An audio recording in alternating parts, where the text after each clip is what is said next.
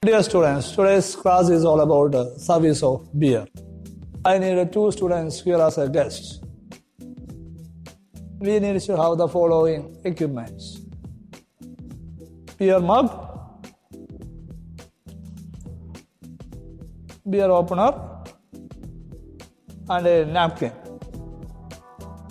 Uh, once the beer is opened, we had asked with the guests whether the guests prefer head or collar. Head means with froth, collar means without froth. First, I need to get the order for beer. So, which kind of beer would you prefer? Thank you.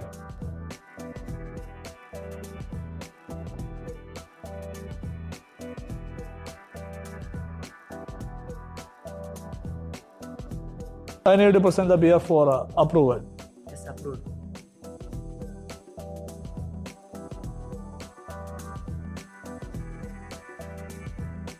So, would prefer head or collar? I need to hold the beer mug at a 45 degree and pour the beer through the side. When it reaches half, I have to straighten the glass and I have to pour the beer.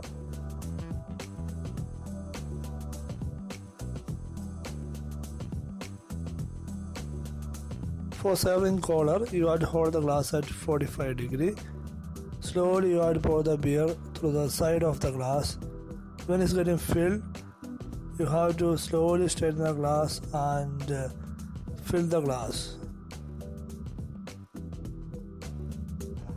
Now, this is a way to serve beer.